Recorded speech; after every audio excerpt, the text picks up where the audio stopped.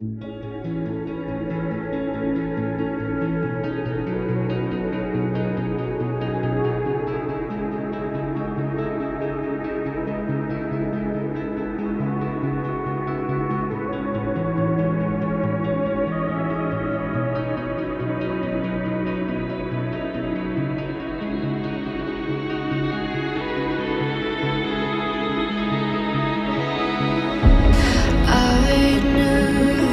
the answer before it fell from your eyes, covered with lies and maybe.